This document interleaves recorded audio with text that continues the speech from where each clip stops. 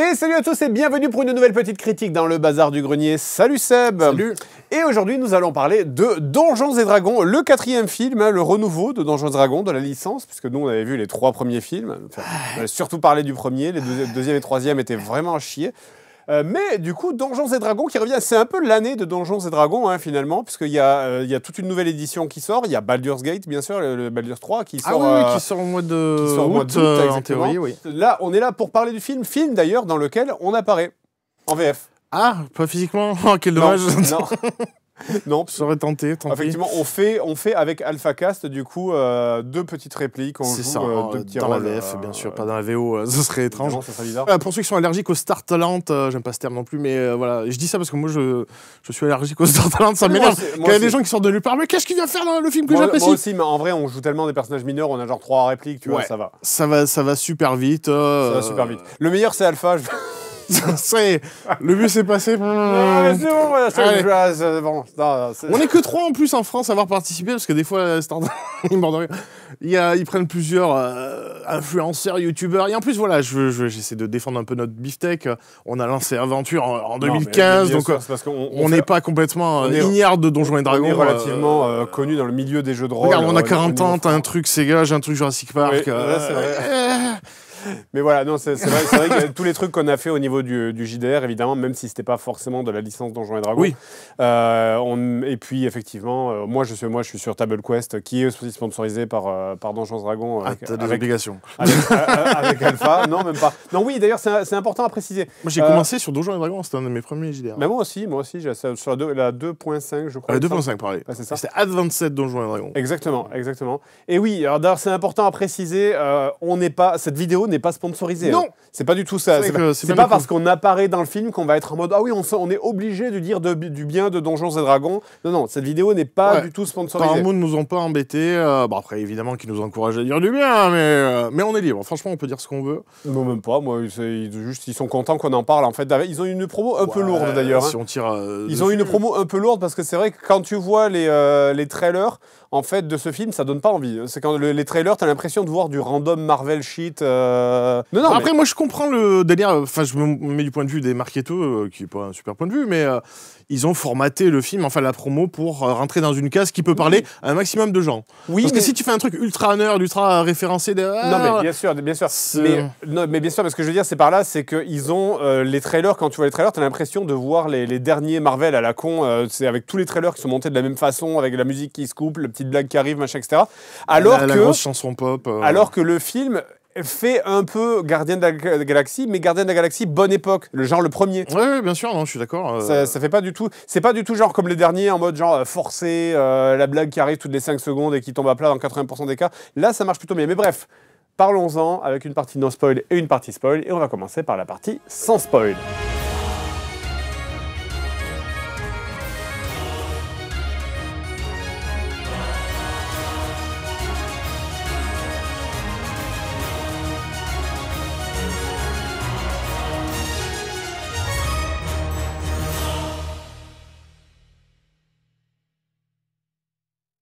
Ok, donc partie sans spoiler. Je vais essayer de résumer assez rapidement ce qui se passe, mais bon, ça sera plus facile de vous parler dans les détails de la partie spoil parce qu'il se passe beaucoup de choses tout au long du film. Il y a, l'aventure évolue, il rencontre des nouveaux personnages, Il y a etc. beaucoup de personnages, beaucoup de dark narratifs. Ouais, ouais. exactement. Donc, en gros, il s'agit de l'aventure euh, d'une barbare et de Ménestrel qui vont essayer de euh, libérer un proche euh, des mains d'un- d'une personne qui manipule après un cambriolage qui a mal tourné. Voilà. Oui, voilà. Dans les grandes lignes, grosso modo, c'est ça. Dans les très grandes lignes. Après, il y a des sous-intrigues, ils vont trouver, devoir trouver des objets, machin, etc. Ils vont rencontrer des personnages. Mais dans les archi grandes lignes, c'est ça. Voilà. Donc, qu'est-ce que tu en as pensé? Eh ben, moi, j'ai trouvé ça très sympa, très cool, très fun. euh, vraiment euh, comment euh, ouvert à tout type de public. C'est- C'est-à-dire, euh, si, tu connais un peu Donjons et Dragons, tu peux reconnaître des références ça et là. Et puis, moi, je suis sûr qu'il y en a plein qui me sont passés au-dessus de la tête. Mais c'est pas grave parce que le, tout le, fi- le film te donne toutes les clés de compréhension. Les personnages sont attachants et bien développés.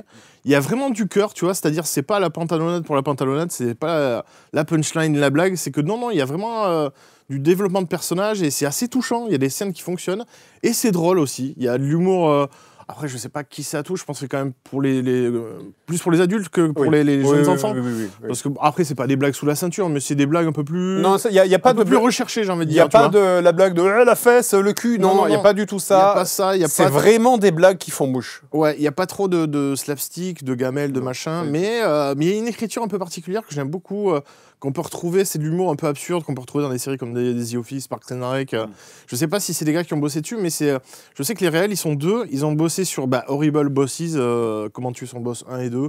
Je suis un peu moins fan, mais on retrouve un peu de ce genre d'humour euh, là-dedans. Et, et surtout Game Night, qui est vraiment très très cool. euh, J'encourage les gens à regarder ce film. Et Qui euh, non seulement voilà, et euh, on retrouve le, le même type d'humour, mais aussi la même mise en scène. C'est-à-dire, c'est pas juste euh, du euh, chant contre chant hyper plat. Il y a vraiment des idées de mise en scène assez cool. Et euh, surtout quand tu as un univers, un bac à sable comme Donjons et Dragons où il se passe plein de choses, tu as des, des personnages qui peuvent se transformer en créatures, tu as, tout un bestiaire. Donjons et Dragons, le, Gigantesque. le lore est infini. Et le lore Euh, est infini, euh, les paysages sont magnifiques. Enfin, Il y a tout, il y a tout dans Donjons et Dragons, il y a tout. tu peux faire en termes de réalisateur, tu peux faire, euh, tu peux faire ce que tu veux.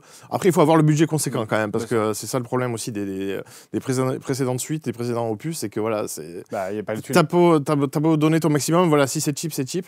Et là, ça va, je trouve qu'il y a une balance qui se tient, il y a une direction artistique euh, qui est là, tu vois, il y a des... Bah, c'est quand même haut en couleur, on n'est pas dans du Seigneur des Anneaux où c'est des teintes un oui, peu... mais parce euh, que Donjons et Dragons, c'est tellement vaste en fait comme univers. Donjons et Dragons, c'est vraiment le, c'est le maître étalon des jeux de rôle.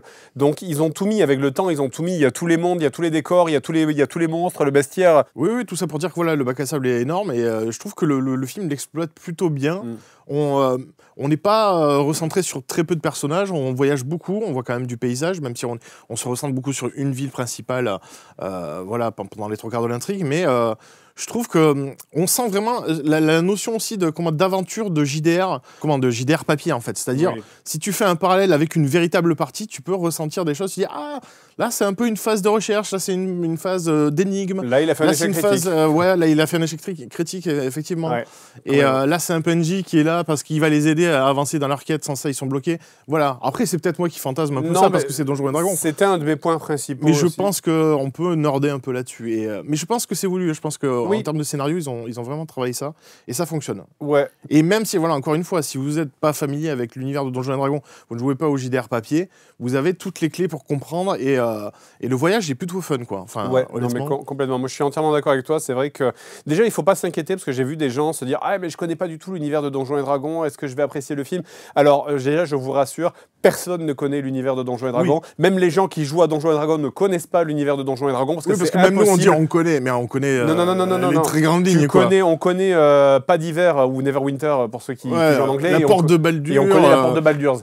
Le jeu, le, film, pardon, fait énormément de, name drop en mode genre oui, on va le, casque de machin et on va passer par le, le col de bidule truc. Ça n'a aucune importance. Personne, même les rôlistes, même, les maîtres du jeu qui jouent au jeu- à Donjons et Dragons, il y a tellement de noms partout que c'est impossible de connaître Donjons et Dragons. Mais donc voilà. Donc ne vous inquiétez pas. euh, vraiment ça, ça n'a. Je trouve que ça n'a vraiment le lore n'a pas le, le lore n'a pas d'importance en fait. Euh, maintenant, pour revenir à ce que tu disais en dernier, c'est effectivement ça, je pense, la clé du succès de ce film. C'est que contrairement au film précédent, bah après on va surtout prendre le premier parce que le deuxième c'est plus des téléfilms. Contrairement au premier film de Donjons et Dragons, qui était un film qui se passait dans le monde de Donjons et Dragons, mais comme si, voilà, c'est- vraiment que ça. Là, tu ressens un petit peu des éléments, parce que c'est quoi Donjons et Dragons? C'est l'univers d'un jeu auquel des joueurs jouent. Je sais pas si je suis clair, mais ce que je veux dire par là, c'est que là, tu ressens, en fait, dans ce film, que c'est aussi un hommage aux joueurs de jeux de rôle qui jouent à Donjons et Dragons. Il y a des personnages, effectivement, on, le disait, il y a des phases où tu peux faire Ah là, il a fait un échec critique. Ah là, le monstre a fait un échec critique. Ou des personnages qui sont parfois des des clichés ou des ou des c'est des clichés de jeux de rôle notamment un personnage qui est absurde qui ne, qui ne peut pas exister en vrai tu vois ça ne peut pas exister dans ce monde qui un, un personnage qui serait comme ça dans ce monde ça serait vraiment absurde les gens le regarderaient en disant mais il est fou euh, what the fuck mais dans le cadre d'un joueur qui joue un personnage dans le monde de Donjons et Dragons, ça marche parce que des fois les joueurs ils sont un peu, euh, ils savent pas jouer, ils sont un peu nanars, ils sont un peu cons, machin, etc. Ils font, des fois ils font des plans foireux, des fois ils font des plans de merde mais qui marchent et tu sais pas comment ça a marché. Et donc là, ça marche et on retrouve cette notion de, et c'est ça pour moi le succès de ce film, c'est on retrouve cette notion de joueurs qui, qui sont dans un film. Alors je dis pas que c'est du nullbuck. Hein. suis pas en train de dire c'est du nullbuck ou du noob avec plein de thunes. Mais euh, tu, euh, tu, euh, tu ressens un petit peu cette notion de, de ce sont, ce sont des, des joueurs de jeux de rôle, en fait. Ouais, parce que j'aimerais apporter une nuance quand même, c'est que c'est quand même des personnages plutôt bien écrits pour la plupart. Oui. Ils ont quand même des quêtes un peu personnelles, Ouais. euh, ils sont développés, c'est-à-dire c'est pas des avatars. Ouais. C'est pas le guerrier. Non, mais bien de manière générique, il y a quand même il y a du développement, il y a des petites backstories Bien sûr. liées à chaque personnage, donc Bien ils sûr. existent dans ce monde, quoi. Et c'est ça qui m'a plu. Bien sûr. Il y a aussi, et ça, je c'est assez rare pour le noter, il y a des- vraiment les blagues marchent, comme je disais en intro. Mm. C'est pas le- les, les- en mode les derniers films Marvel où tu sens qu'il faut une blague toutes les 7 secondes, sinon les gens vont s'endormir, tu vois. C'est là, les Après, c'est pas blagues. grave, c'est tout dépend des blagues. Moi, j'aime pas quand c'est trop référentiel, Ouais. trop. On se repose sur la pop culture, tu Ouais. vois. Par exemple, Shazam 2, tu vois, c'est euh, il y a une femme qui chevauche un dragon. Hé, Khaleesi, tu vas te calmer. Voilà, Ouais. voilà, tu vois cette réaction. tu vois cette réaction, voilà, voilà, c'est ça qu'on veut éviter. Vous avez vu ce visage-là, vous pouvez faire un replay.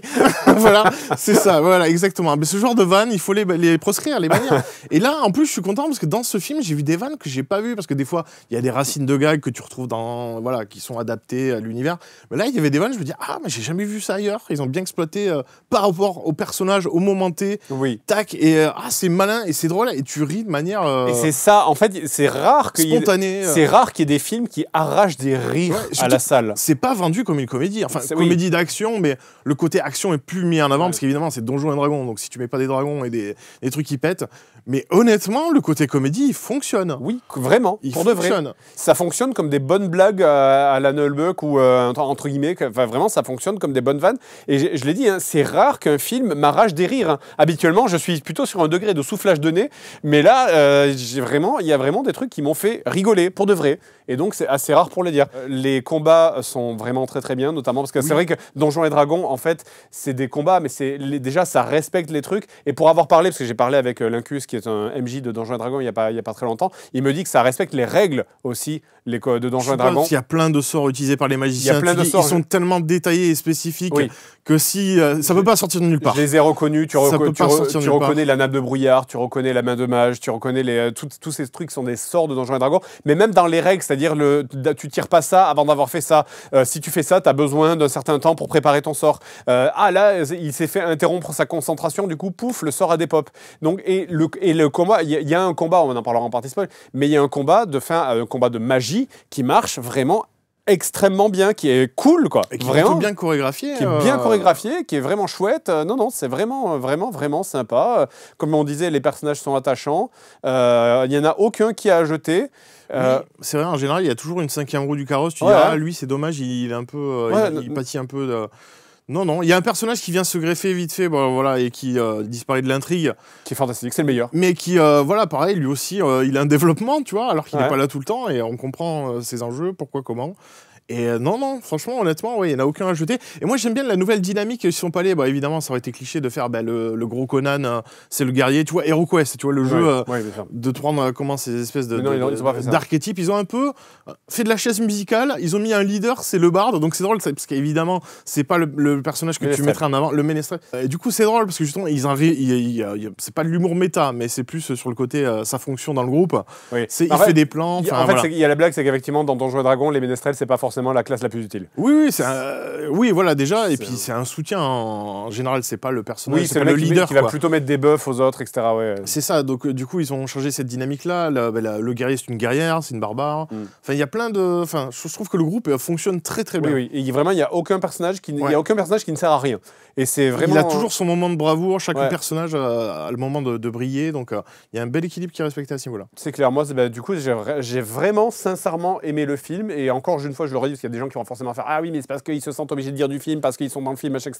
On s'en fout de ça, vraiment, on s'en a rien à C'est vrai que c'est le meilleur passage, on va pas se, le- se mentir, mais, euh, mais, mais si on fait abstraction de ça, le reste est pas trop mal. aussi. Non, Ah, vra- non, vraiment, sans exagérer, sans exagérer. Moi, franchement, c'est un film que j'irai revoir, je pense. À part, peut-être si, petit point négatif, à la fin, il y a un petit truc qui se passe, on en parlera en partie spoil, tu le sens venir, il y a, sais il y a que- des éléments cousus de fil blanc. Il y, a, il y a un élément de cousu de film blanc, notamment, où tu fais vraiment, euh, quand ça arrive, tu fais Ah oui, ben, ils vont faire ça, et tu attends 5 minutes que ça arrive, et que, quand ça arrive, tu fais Oui, bah oui, on le savait.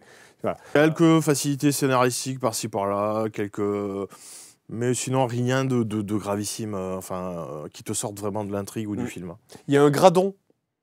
Un gradon. Bah ouais, c'est un dragon, mais il est gras, c'est un gradon. D'accord, je savais pas qu'on les appelait comme ça. Non, mais pas du tout, je viens de l'inventer, mais... euh, D'accord, ok. Bref, voilà. Euh, Quelque chose à rajouter sans spoil? Non, non, non, ils ok. Partie spoil.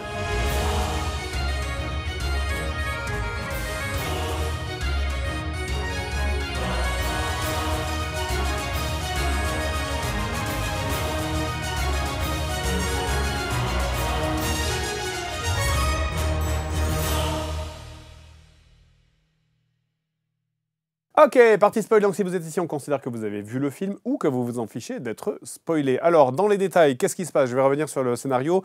Euh, en gros, le ménestrel, il est en prison parce qu'il a fait un plan foireux. euh, il a fait un plan foireux avec une- un cambriolage qui a mal tourné.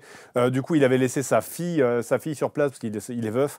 Il avait laissé sa fille sur place, mais il se fait arrêter. Du coup, sa fille se retrouve, se retrouve toute seule et se fait adopter par un des mecs qui avait réussi à s'échapper pendant le, pendant le cambriolage un peu foiré. Parce que l'objectif du cambriolage, c'était récu- récupérer pour lui, pas seulement des trésors, mais pierre une- de renaissance. Une pierre de renaissance pour ressusciter la mère de pour la fille. ressusciter la mère de sa, de Donc sa, femme, effectivement, du coup. Sauf que le temps passe, il se retrouve pendant deux- un ou deux ans en prison, je ne sais plus exactement. Euh, il retrouve sa fille qui, entre-temps, euh, a été adoptée par, euh, le, par le, le mec qui a réussi à s'échapper. Sauf que ce mec qui a réussi à s'échapper a fait fortune et est devenu le dirigeant de la porte de Baldur's, hein, si je dis pas de bêtises, il me semble. Alors peut-être pas, peut-être c'est peut-être peut-être pas la Baldur's. non. Mais il est devenu le dirigeant d'une grosse ville. Hmm. Voilà, en tout cas. Et euh, du coup, euh, il, pendant ce temps-là, il a, il a monté euh, sa fille contre son père en disant Ouais, mais ton père, il t'a abandonné, il voulait faire ça pour l'argent, machin, etc. Et l'objectif du père va donc être de récupérer sa fille qui est au château, de, au château de cette ville, du coup, sous l'emprise mentale, entre guillemets, de, de cet homme-là. Donc, ils vont vivre des aventures, ils vont aller dans l'outre-terre, ils vont croiser des trucs, et finalement, au final, ils vont réussir à délivrer euh, la fille, sachant que par-dessus ça, il y a une intrigue avec des mages euh, d'un pays voisin qui s'appelle Tête, euh, qui, eux, essayent eh bien, de tuer tout le monde pour s'emparer de, de- de cette zone-là du pays. Voilà, en gros. Et sur le chemin, eh bien, ils vont recruter une druide Tiflin, ils vont recruter un mage demi-elfe, et ils vont recruter un paladin qui est absolument fantastique. Du coup, c'est le meilleur personnage, je pense. Ah, il est fantastique. ouais. Surtout qu'ils ont bien respecté le côté loyal bon, en fait. Oui, Et, exactement. Tu sens les alignements. Ouais, ouais, c'est ça. Et, euh, et du coup, c'est drôle parce que c'est vrai que le- les, les, les ils sont jamais trop dépeints comme ça. Mais en fait, quand tu regardes son alignement, effectivement, il est obligé de réagir comme, euh, comme euh, comment, euh, un taureau. Enfin, il fonce, euh, Ouais. il réfléchit pas trop. Et puis, il a vraiment une devise, il s'y tient. Ouais. Et du coup, dès que tu commences. Bah, après, c'est un peu un reproche aussi c'est qu'il réagit un peu comme Dave Batista dans Les Gardiens de la Galaxie, c'est-à-dire il comprend pas le second degré, ça lui passe au-dessus de la tête. Oui. Mais en même Oui, temps, oui, ça s'adapte à son personnage. Je trouve que ça ne sort pas de nulle part. Ils auraient Ouais. fait ça sur un autre. hein. Mais là, le loyal bon, effectivement, c'est lui, c'est quoi? Non, non, je dois sauver la femme et l'orphelin. Euh, et euh, la veuve et l'orphelin. Et, euh, ça marche parfaitement bien à son personnage. euh, enfin, il est vraiment, c'est vraiment le, le paladin. Si on était dans un de rôle, ça, ça serait le, le paladin euh, loyal bon, un peu stupide. Tu vois, c'est euh, voilà. notamment la première scène où il apparaît. Oui, vraiment, c'est le paladin Yves Saint Laurent, euh, où, euh, où il est tout le temps en train de poser. Il a Déjà, tout il- le temps- ouais, ils ont pris un acteur ultra beau gosse qui Ouais. a une série, je ne sais plus laquelle, c'est, euh, il s'appelle René, pas Jean, ah, j'ai oublié. Et bref, non, voilà, il est beau à crever. Et surtout, voilà, il y a tout un, tout un plan, je sais pas si c'est un plan séquence, mais bref, on le suit euh, vivre sa vie dans son village où il aide tout le monde. où il a tout le temps la chemise un peu ouverte, Euh, le voilà, torse il un peu ultra huilé. léger, euh, il se met à genoux, il donne de l'argent à des mendiants. Enfin, il leur voilà, caresse il la est- joue en mode bonne journée à toi aussi. Vraiment. Dans leur langue, enfin voilà, il est irréprochable sur tous les points. Il est parfait, quoi. Ouais. Et euh, non, non, c'est très, euh, très bien casté. euh. C'est ça. Et tous les personnages, ils ont leur truc. En fait, tu as le, tu as le mage qui est un peu le, le mage euh, mal mal bêta, tu vois, qui est un peu euh, à chier. euh, du coup, le mauvais mage euh, qui est un peu le mage de foire, quoi. Du coup, Mm. tu as la barbare qui est un peu débile et qui a un kink sur les, les petits, les, les mecs un peu petits. Sur les, les c'est ouais, ça sur les halflins, ouais, c'est c'est très drôle ça Ouais, aussi. ouais. Le, Non, mais drôle et touchant à la fois. Ouais. Et d'ailleurs, c'est Bradley Cooper, son crush, enfin son ex. Euh, voilà, c'est pas sur l'affiche, alors que bah, c'est une méga star, hein, Bradley Cooper. Euh, et moi, je trouve que ça fonctionne. Au début, tu, tu rigoles un peu de manière Oh, ce couple, il est étrange, la grande barbare et puis le petit alphin. Mais en fait, c'est touchant quand ils parlent entre eux de leur relation, machin, de Oh là là, tu m'as offert ce bâton. Et euh, non, non, ça fonctionne de fou. Ouais, complètement. Complètement. Tu as la druide, la druide Tiflin. Alors normalement, les Tiflins, ça, les Tiflins, ça ressemble pas vraiment à ça parce que là, là, c'est vraiment, c'est pareil. L'actrice, elle est trop mignonne de la druide, petite rousse avec euh, deux petites on dirait, de Hit, j'ai oublié. c'est, on dirait un cosplay, euh, on, dirait, on dirait un cosplay de jeu de rôle plutôt que vraiment le vrai personnage de, du monde. Mais euh, du coup, qui est un peu à la druide désabusée en mode putain, vous êtes vraiment nuls à chier, quoi, tous. Euh, ça, ça aussi, c'est pareil. Le personnage désabusé qui critique les autres en mode putain, on fait que des plans foireux. Ça, c'est un, ça, c'est un personnage de jeu, de jeu de rôle. Le paladin, c'est un personnage de jeu de rôle. Le mage un peu bidon, c'est un personnage de jeu de rôle. Et non, Et c'est le ménestrel aussi. euh, et le ménestrel, du coup, qui, bah, qui est en mode genre, bah, moi, je sais pas faire grand chose, mais en même temps, euh, bah, je peux chanter. c'est, c'est, pareil. bah, il faut, ouais, tout, tout, tout joue sur son charisme. En fait, Ouais. c'est lui qui baratine et tout. Donc, euh, non, Exactement. ça, ça fonctionne aussi. Quoi. Non, vraiment, euh, tout marche super bien. L'aventure, euh, encore une fois, on parlait, euh, on parlait des combats là, dans, la partie, euh, dans la partie no spoil, à la fin, quand ils se battent contre la mage de tête, et que du coup, tu as des. C'est euh, de tête, c'est pas les paladins qui viennent de tête euh Je crois que c'est ça. Je crois que C'est ça, ouais, c'est tête, ouais. Il me semble, me semble que c'est les mages de tête, il me semble. Enfin, c'est les, Mages rouges. Les mages Ouais, rouges, Voilà, on va les appeler les mages rouges, histoire de pas se tromper. Mais du coup, euh, ouais, qui, euh, et donc tu as un vrai combat qui est, qui est, qui est vraiment badass, quoi, la mage rouge. hein. la, la meuf, elle est plutôt classe. euh. Même le plan du méchant, qui, bon, c'est un plan de méchant, quoi, Ouais. mais c'est réunir un maximum de personnes dans une arène pour les transformer euh, en zombies et puis pour dominer. euh, C'est ça. Même le méchant qui, du coup, tu te doutes, tu te doutes que c'est pas le méchant final parce que lui, c'est Mm. plus le méchant, genre, Ah, je veux être riche, je veux me faire de l'argent, machin, etc. Je trouve qu'il a une bonne tête. Euh, Enfin, je sais pas, il Mais est. c'est Hugh euh, Grant et euh, là pour le coup j'aurais bien aimé écouter la VO parce que parce qu'il a vraiment cet accent british un peu Ouais. euh, pince sans rire et tout. Ouais. Surtout qu'il voilà il a cet humour euh, comme ça de euh, ah, j'ai pas envie de vous voir mourir c'est pour ça que je vais sortir de la pièce. Ouais. Enfin, j'aime bien Ouais. cette fin. Notamment euh, qu'à un moment, tu as, tu as la barbare qui, qui lui gueule dessus et il fait Ouh, oh le gars, oh oh, ça m'a fait rire. Non non ouais. Il a vraiment ça, on dirait qu'il sort d'un soap opéra, tu sais, un peu, euh, je trouve, euh, avec son, son, son sourire un peu charmeur, un peu euh, homme mature, machin, etc. Il Mais m'a- ouais, il est ultra précieux. c'est un roublard aussi. Ouais. non, non, il fonctionne très bien ce personnage. Ouais. Ouais, ouais, non, vraiment, vraiment tout, tout, tout marche très bien. Les, les, les blagues marchent bien. Le gradon, on en parlait là justement, le, le, le gradon, j'appelle ça un gradon parce que c'est un dragon qui est gras, qui du coup à un moment commence à rouler sur lui-même. C'est là où je disais, t'as l'impression que là c'est le MJ, il a voulu attaquer les PJ, il a fait un échec critique et c'est un dragon qui commence à rouler sur lui-même. Enfin, c'est le- toute cette scène, elle est trop trop cool quoi. Moi j'ai trouvé ça vraiment cool. Mais euh, ouais, je te dis, ouais, j'ai déjà vu ça dans les jeux vidéo. Dans les Dark Souls, il y a des boss comme ça qui ont des phases d'attaque. euh, ils se mettent en boule. Bah, typiquement, le gardien de la prison, le premier boss dans Ouais. Dark Souls, est un peu comme ça. Mais euh, non, non, et puis c'est cool de voir ça, de ne pas avoir du, du dragon générique, euh, même les pouvoirs, les situations. C'est, non, non, c'est, c'est vraiment cool. Moi, le passage voilà, que je voulais décrypter, qui, qui est un peu rigolo, et tu sens vraiment que c'est un parallèle avec une partie de JDR, c'est évidemment euh, bah, le paladin qui explique voici le pont de machin, nous devons le traverser, il y a une Ouais. énigme compliquée à Ouais. résoudre. Donc là, c'est le MJ qui t'explique l'énigme, attention, parce qu'en plus, on voit vraiment un plan sur le pont avec, je crois qu'il y a des runes, Il y a, des, il y a des runes, il y a des lettres, des, des chiffres, des vraiment pendant très longtemps le long pitch du fonctionnement de l'énigme. Ouais. Donc attention, faut faire ça, prenez des notes. Et évidemment, il y a un joueur qui fout la merde, qui met le pied sur un- le piège, qui nique le pont. Bien sûr. Donc là, pareil, le problème de MJ. Bon, Le, fait le quoi re- le regard qu'il jette au mage à ce Ouais. moment-là, comme ça. Non, non, c'est très drôle, c'est bien joué. C'est génial. C'est vraiment. Après, je ne sais pas, je me suis posé la question pendant le film, et- parce que vraiment, je, je kiffais à un moment, j'étais trop content. Et à un moment, je me suis dit, mais attends, est-ce que tu es en train de kiffer parce que tu es toi-même un joueur de JDR Ou est-ce que tu kiffes parce que juste le film est bien, tu vois? Et surtout parce que voilà, moi, j'en reviens à ce passage, c'est que la façon dont c'est enchaîné, c'est bon, euh, pff, bon, ils peuvent pas traverser. Ah ok, ah le bâton qu'elle avait depuis le début, bah en fait c'est euh, c'est le portal gun. Ouais. Ça fait des portails et vous vous retrouvez de l'autre côté. tu vois, genre pour il faut avancer, faut faire avancer Ouais. l'intrigue. Parce que là en termes de film, c'est quand même un raccourci scénaristique de fou. De, fou, bien sûr. Mais évidemment. en termes de JDR, tu dis, mais non, c'est que le MJ il est bloqué, il faut faire avancer le Ouais. truc, ils doivent se retrouver de l'autre côté. Allez hop, ça, ça, ça, hop, ça marche. Oula, eu barbatruc. et, euh, et non, non, et moi ça m'a pas choqué du tout, et je trouvais ça logique et c'est- ça Non, marche. ouf. complètement. Surtout qu'il le réutilise le portal gun, c'est Ouais. pas un mode, euh, voilà. Et il le réutilise dans un plan. Et là, pour moi, ça, c'était la partie où les joueurs font un plan qui est extrêmement compliqué Qui et, Ah ouais, et qui, marche, qui finit par marcher, tu sais pas comment ça a marché. Alors Il foire hein, quand même au début. Euh, Au début, ça foire un peu, mais, un euh, peu. mais, mais genre, le, le- c'est l'accès de génie. Ce que je veux dire, c'est des fois, ça arrive dans les parties comme ça, Ouais, que tout le monde apporte sa pierre. Bon, on va faire ça, ensuite on va utiliser ça et on va faire ça, ça, ça. avec un plan extrêmement complexe. et, euh, et qui fonctionne, et plutôt malin. Enfin, en termes de mise en scène aussi, il y a des Ah bah, plans qui Et sont d'ailleurs, en, parlant de mise en scène, il y a un plan, tu, toi, c'est la scène avec la druide que tu avais beaucoup aimé. Ouais, ouais, ouais, ouais. Mais là, déjà, il y a le plan avec le, enfin, le portal gun utilisé dans un tableau. Ouais. Enfin, voilà, on va pas dé- décrire plus. Mais ouais, l'évasion. Enfin, à un moment, il y a la, la- la druide qui espionne euh, comment, le- le- comment les gardes qui sont devant le fameux coffre euh, Ouais, avec la serrure de Kermoren ou je sais plus comment Ouais. elle s'appelle. Et du coup, elle se fait repérer, effectivement. Et du coup, elle s'enfuit. Et c'est toute une scène de course-poursuite où elle fait que se transformer en multiples animaux.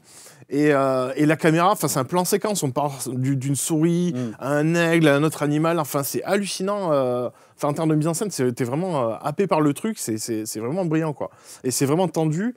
Et ça finit sur une gag, sur, sur un gag Petit gag, ouais, qui est vraiment, euh, qui, qui- voilà, qui ne déborde pas, qui fonctionne très très bien. Donc, Ouais. euh, Druid Druid s'est pété aussi dans, dans Donjons et Dragons. Mhm. C'est, euh, vraiment pété du cul. euh. D'ailleurs, le mage aussi s'est pété du cul. Euh, Donc euh, là, de, de- de ce côté-là, c'est vraiment bien respecté.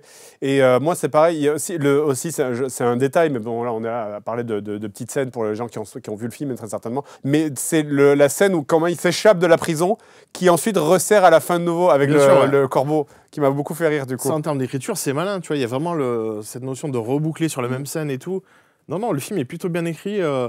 moi, si ouais, si- s'il y avait des reproches à faire, parce qu'on là, on est ultra dithyrambique. Oui, donc, bien au début, on fait oh non, on va pas dire que du bien, attention.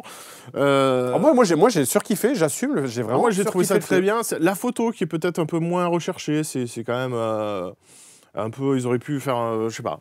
Bah, pas un truc à la Seigneur des Anneaux avec du glow partout, mais euh, Bah, moi, moi, c'est, une meilleure identité, quoi. moi, c'est, la fin, en fait. C'est la fin. pas proche euh, du c'est- téléfilm, mais euh, presque. C'est la, la fin où, euh, où tu sens que quand il y a la, barbare qui se fait, euh, qui se fait buter pendant le, pendant combat, C'est dommage, c'est qu'ils auraient dû, on aurait dû oublier l'artefact, ils auraient dû, parce qu'à un moment ils ressortent pour je ne sais plus quelle raison, c'est ça.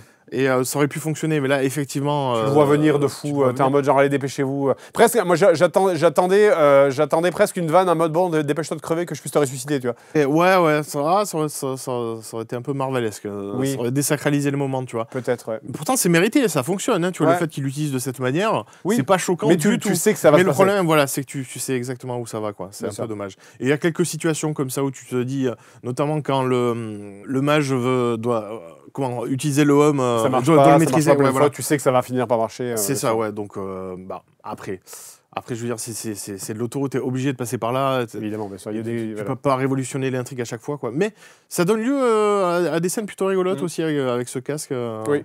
Complètement. C'est plutôt bien exploité. Il y a des pouvoirs qui sont bien exploités, notamment bah, le sort d'illusion quand le barde euh, doit faire euh, une euh, détourner l'attention. Ça, c'est très drôle aussi. Ils ont joué sur euh, un autre aspect de, de la comédie. Enfin Ouais. voilà, tu vois, c'est des blagues qu'on n'a pas l'habitude de voir, je trouve. Ouais, complètement. Et en fait, je pense que vraiment, le film est bien si tu le regardes comme ça.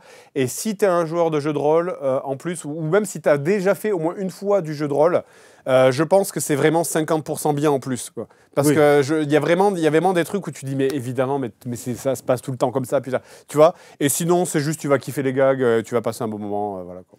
Et tu sens quoi En termes d'écriture, il y, a- il y a une bienveillance derrière, en fait? Oui. Ils, ils ont pas été. Tu sens pas que c'est des, des mecs qui sont euh, vierges, euh, enfin, qui connaissent pas du tout l'univers du JDR Ouais. et qui ont dû réviser. Bon, alors, qu'est-ce qu'on leur, met pour qu'ils soient contents? Oui. Tu sens que c'est organique dans le film, en fait. Qu'il y a rien de, de vraiment forcé et que ça. sert l'intrigue. Avec un petit egg sympa, c'est que dans, une scène qui se passe dans une arène, on voit les personnages de la série du dessin animé Donjons et Dragons avec le sourire du dragon euh, euh, de, chanté par Dorothée. On voit vraiment ces mecs-là qui, qui sont clairement. Costumes sont très fidèles. Hein, ils sont costumes- vraiment en flashy, les couleurs du Ouais. dessin animé. euh, c'est vraiment hein. les, les mêmes personnages, effectivement. C'est un autre groupe. Tu sens que c'est un autre groupe de joueurs qui, Ouais. est, qui est là à ce moment-là. Ça a quoi. du sens, hein, parce Ouais. qu'ils ils- ils font la compétition dans l'arène. Enfin, donc, euh, non, ça, ça marche plutôt bien. Bilan? Bah, franchement, grosse surprise. Je pense que c'est ça aussi le fait qu'on ait apprécié autant, c'est qu'il n'y avait pas trop d'attentes. Parce que déjà qu'on s'est fadé les trois précédents, Ouais. tu te donnes pas envie. Euh, et, et ce trailer très formaté Gardien de la Galaxie 8, Oui. Tu fais oh là là là, Ouais, de fou. on va où avec ça? Je pense que le marketing. les attentes, elles sont, elles sont là. Et alors, quand tu découvres le film, et en plus, c'est drôle parce que tu t'entends pas de la comédie là-dedans, ou alors euh, des, des vanouses, euh, voilà, qu'ici, tu vois. Ouais. Et euh, donc, tu es agréablement surpris sur- plein d'aspects, en fait. Ouais, complètement. Moi, c'est un peu pareil. Effectivement, je pense que le point faible du film, c'est avec le marketing, en fait. C'est euh, le marketing qui est un peu trop forcé et forceur. En fait, les trailers sont montés comme les derniers films, ce qu'on a dit, hein, les trailers sont montés comme les derniers films de Marvel, qui sont les films qui sont les plus détestés par les gens, euh, parce que les, les quand, tu parles de Gardien de la Galaxie, les gens, ils, ont bien aimé les premiers, mais les, les, autres, euh, ce, qui, ce qui a suivi, c'était plus compliqué, tu vois. Il y a beaucoup de communication autour de ces films, mais du coup, les gens sont méfiants, tu vois ce que je veux dire? C'est que par- définition, maintenant, les gens, plus ils voient de communication autour d'un film, plus les gens se disent Ah, ça doit être de la merde. Et donc, il y a, cette espèce de phénomène de rejet automatique où tu te dis Putain, s'ils essayent tellement de me le vendre, c'est que, où est-ce qu'on va tu vois? Alors que finalement, ben non, ça passe. ça passe et le, fi- faut pas se fier du coup au trailer. L'ambiance des trailers n'est pas du tout l'ambiance des films en fait. On parlait de référence à la pop culture, il y en a pas du tout dans le film. Il n'y a pas le I Need a Hero, euh, il n'y a pas, ce- il y a pas, il y a pas la les BO de merde des années 80, tu vois. Non, non, ouais, il n'y a pas de chanson originale. Non, euh, pas- Ah oui, mais d'ailleurs, la musique, euh, point positif, bah, c'est il y a des morceaux euh, qui sont très celtiques, tu vois, les instrus Ouais. très euh, irland, Irish, euh, écossais, tout ça. Et euh, ça fonctionne très bien. Franchement, la BO est plutôt sympa. Oui. Mais oui, il n'y a pas de chanson pop. euh, non, il n'y a pas, y a 50, euh, exactement. Effectivement, il n'y a pas besoin de Il n'y a, ça. il y a pas besoin de ça. Et, et alors, je sais pas, moi, je me souviens plus des trailers. Je sais pas s'ils font appel à des chansons pop dans les trailers, machin. sûr, je crois qu'il y a Mais pourquoi ils font ça C'est terrible. Immigrant Song, Parce que du crois. coup, on, Ouais. on dirait, on dirait qu'en- oh, vraiment, c'est- que tu, tu vois le trailer, tu dis putain, ça va être la même soupe dégueulasse qu'à chaque fois. Et en fait, pas du tout, quoi. Il n'y a pas ça, il n'y a, il y a pas, euh, voilà, euh, il y, aura pas euh, ah bah, euh, monnaie, monnaie, monnaie quand ils vont, développer, quand ils vont euh, voler la banque, tu vois. Ah, pas- horreur. Alors qu'ils auraient pu, tu vois. Ouais, ouais, ouais, euh, effectivement. Mais non, il n'y a pas ça. Et du coup, c'est cool. Je dis pas de bêtises, mais non, non, je pense pas qu'il y ait de, de Non, chansons j'ai- pop. ça euh, pas du tout. Je pense que sinon, on aurait, on aurait soufflé. Vraiment, on aurait soufflé. Quoi. Ouais, bien sûr, parce que même ouais, devant Mario, moi, je- le Bonnie Tyler, euh, ça m'a fait souffler du nez. Et ouais, et c'est ça le problème, c'est que là, il sort un peu de temps après Mario, tu vois, qui cartonne. Euh, Est-ce que il y a aussi le, le cast aussi qui est vraiment, euh, c'est vraiment que des, des, des- grosses stars, tu vois. T'as Chris Pine, Mm. Michel Rodriguez. Enfin, c'est des têtes que t'as euh, beaucoup de fois dans des, des blockbusters, tu vois, que tu pourrais associer. Tu dirais, est-ce que ça va être du Fast and Furious parce que c'est Michel Rodriguez, tu vois? Dans ta tête, il y a peut-être ce mix qui fait que tu veux, auras peut-être une sensation de rejet aussi. Mm. Et en fait, non, pas du tout, quoi. Ouais, bah, au final, ouais, c'était vraiment, et comme tu dis, c'était- d'autant plus une très bonne surprise que personne n'attendait à ce que ce soit bien. Mhm. Vraiment, je pense que tu, quand il y, a- y eu la bande-annonce de- du film Donjons et Dragons, je crois que personne se disait ça va être bien, quoi. C'est. euh, pour ça que moi j'ai peur que bah, qu'il y ait un peu un succès, un peu d'estime. euh, Enfin, c'est-à-dire que bah, au les, no- notes sont bien. Les les, notes- les notes sont très bonnes, mais en même temps les notes, euh, ça, ça- ça- ça dépend. euh, enfin, tu regardes mais certains films. spectateurs et presse, les deux notes Ouais, sont bien. c'est plutôt unanime ouais, à ce niveau-là. Mais euh, enfin voilà, moi j'ai peur que voilà, en termes de, de, de, salle, il fonctionne pas de ouf, mais qui commence à développer un petit statut culte en, en vidéo, on va dire entre guillemets, Ouais. un peu comme Dread ou euh, euh, quelques films comme ça qui sont passés un peu sous le radar. Scott Pilgrim qui avait pas fonctionné du tout en salle. Ouais. Mais tu vois, qui, qui, euh, qui atteignent un petit statut culte de Ah, mais ce film, personne l'a vu, et en fait, il est trop bien. euh. Mm. Moi, j'ai enfin, j'ai peur. J'ai. En même temps, le, le film restera dans l'histoire aussi. euh. Il y a plein de films qui sont fait vomir dessus à leur sortie, et après, ils ont existé avec la vidéo. Bien quoi. sûr, bien sûr. Donc, on verra. Mais en tout cas, moi, je souhaite aux gens d'aller le voir parce que c'est quand même un spectacle aussi à voir au cinéma. quoi. Donc, c'est quand même cool. euh, voilà. Voilà. Bah écoutez, bah, faites-vous votre avis par vous-même. Des bisous et à la prochaine pour d'autres vidéos sur le bazar du grenier. Ciao, ciao.